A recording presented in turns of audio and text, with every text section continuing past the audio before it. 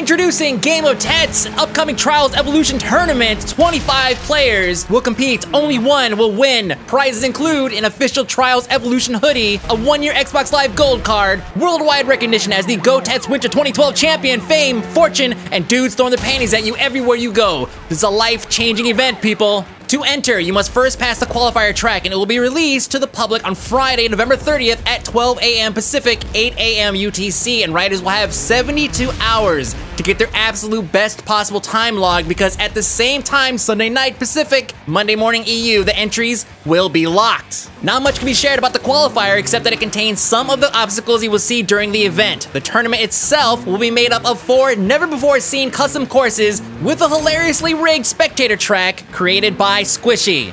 These tracks will not be released publicly and nobody will have the opportunity to practice on or even see the tracks prior to the event. We're trying to keep it fair for everybody participating. Each track has a part time of two minutes. If you beat two minutes, you move on. That is it. If the players are unable to finish all four tracks, their rank will be calculated by the furthest obstacle reached in the least amount of time. We fully expect no one to complete the fourth track. Trust me, it's hard. I tried to donkey it and it wouldn't.